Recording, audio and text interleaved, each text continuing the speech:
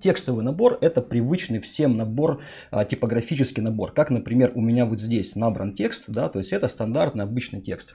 А в случае с акциденцией, акциденция нарушает все правила, ну, в большей либо меньшей степени, да, скажем так. Это нарушение правил ради каких-то интересных решений, ради создания интересных форм. А, акциденция проводит, э, переводит э, текст из режима чтения в режим просмотра, вернее не текст, а человека, который с ним взаимодействует, и превращает э, как бы э, человека из читателя в зрителя, да, то есть в акциденции, в случае с акцидентным набором, с акцидентной версткой, э, здесь уже больше работает не чтение, а именно, ну, смотрение, скажем так, да, в силу интересных каких-то форм. Но стоит понимать, что чем сильнее уходишь в форму, тем больше это требует каких-то композиционных навыков, да, то есть в случае с акциденцией типографика, сам текст, он переходит из э, состава предложения либо состава слова э, в разряд композиции, да, то есть он больше, здесь больше начинают работать какие-то композиционные приемы. Тот же самый контент, который здесь на этих слайдах, на заголовочном слайде сделан в виде акциденции. То же самое, здесь тот же самый текст, э, заголовок, но только не акцидентная типографика у меня написана здесь, а акциденция, вот эти же тоже, тоже фразы, но а, здесь уже сильнее работает форма. Это, наверное, самый простой для, ну, самый простой для освоения самый часто используемый прием а, в вебе, да, это графика в типографике, когда совмещается э, какая-то типографика и графика накладывается, врезается, э, ну, каким-то образом совмещается. На что здесь стоит обратить внимание при использовании этого приема?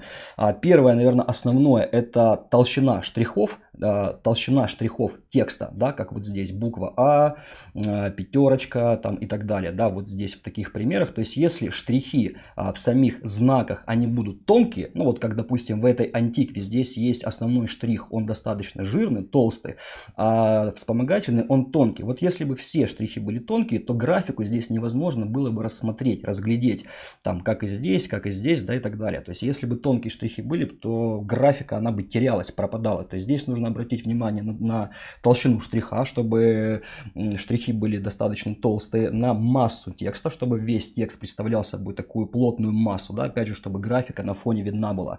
А, верстка в стык или в нахлест. Такой агрессивный немножко прием, да, агрессивный подход к верстке, да, это смелая, экспрессивная, агрессивная верстка.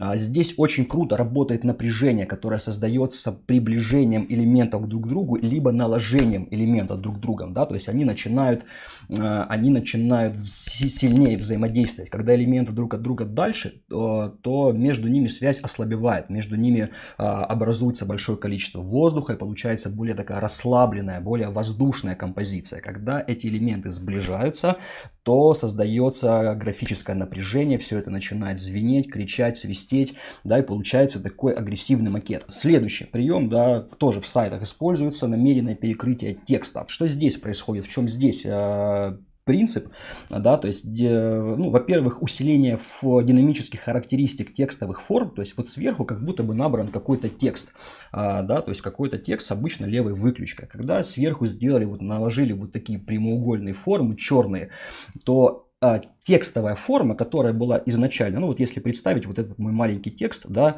э, и наложить на него сверху прямоугольничек, то эта форма начнет, ну, она станет более активней, она станет более плотной, она станет более, ну, более выраженные динамические характеристики будут. Вот этот вот такой рваный ритм с этой стороны. Э, и создается очень классный контраст. Контраст э, крупное, мелкое и темное, светлое, да, Искажение слов или букв, да, тоже часто часто встречающийся прием, э, чаще в постерах, но иногда можно увидеть и в вебе.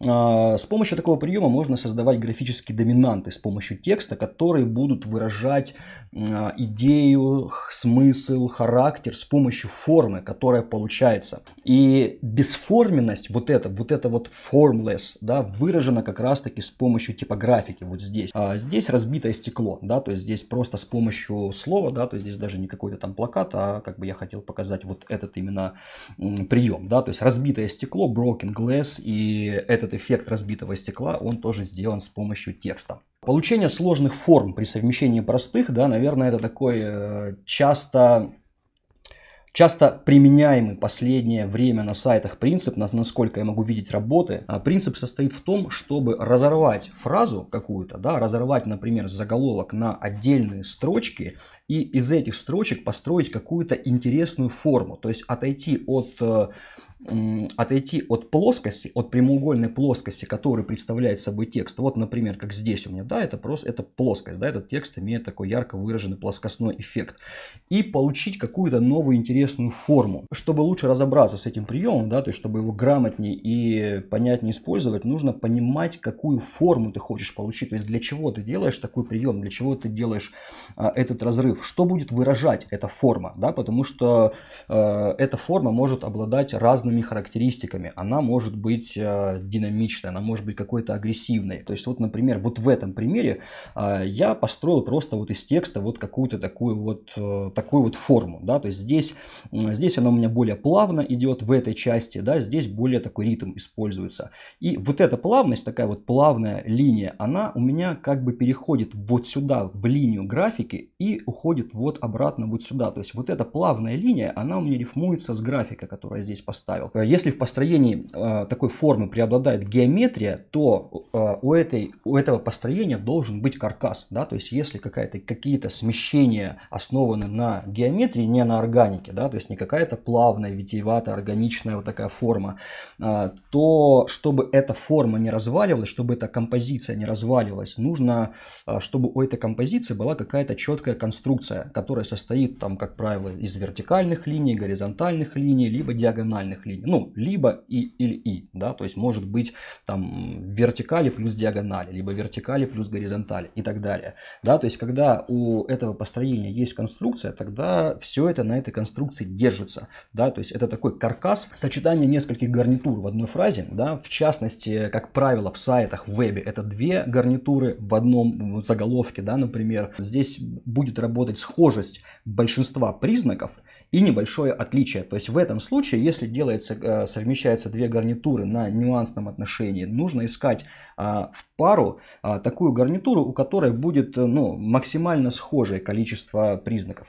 А, орнаментальный рисунок да, достигается за счет э, внутреннего, рит, э, внутреннего ритма. Но в этой статике присутствует динамика внутри, внутри этой формы за счет вот этой вот ритмизации. Да? То есть здесь сделаны, здесь слова разбиты на буквы, да, то есть здесь читать вот эту штуку супер сложно, да, но здесь э, это сделано больше уже не для чтения, а больше для просмотра, да, то есть вот эта вот штука внимание к себе привлекает. А, вот в этом плакате здесь, во-первых, гарнитуры идут, да, контрастные отношения, рукописная и геометричная, да, вот здесь что такая э, жесткая геометрия пиксельная и здесь рукописная какая-то вот надпись. Сверху тоже такая вот статичная прямоугольная форма, в которой также присутствует внутренний ритм, причем самих форм, а, надписи да, и вот этих контрформ. Так, э, за счет того, что слова располагаются очень близко к друг другу, они при этом читаются, здесь капсовый набор используется, то есть никаких верхних либо нижних, нижних выносных элементов нет да, в тексте. Так, создание глубины или объема. Да, с помощью текста можно создавать ощущение глубины пространства, как будто мы уходим вглубь куда-то, как вот на этих двух примерах, и объема, да, какого-то э, объекта объемного, который имеет объем. Чтобы с этим поработать, поэкспериментировать, просто представь опять же текст в виде абстрактных элементов. Да? То есть, когда работаешь с композицией, проще, проще всего это делать на абстрактных элементах, элементах, а потом это уже переводить в какую-то детализацию. Художественные приемы. Здесь просто я хочу показать, что и такое явление есть, что можно рисовать текстом, это просто посмотреть, а, кайфануть, да, типографика, это как изобразительное искусство, рисов... картины сделаны с помощью текста. Здесь рукописный текст э, сделан, да, то есть какие-то картины. Здесь э, вот эти картины сделаны с помощью букв. Здесь все сделано с помощью букв. Опять же, вот здесь тень достигается за счет сближения, свет за счет, наоборот, разрядки этих букв, да, то есть здесь все сделано с помощью текста. То же самое здесь, э, как будто буква М падает куда-то там в воду, э, пузырики в виде буквок, буквок S.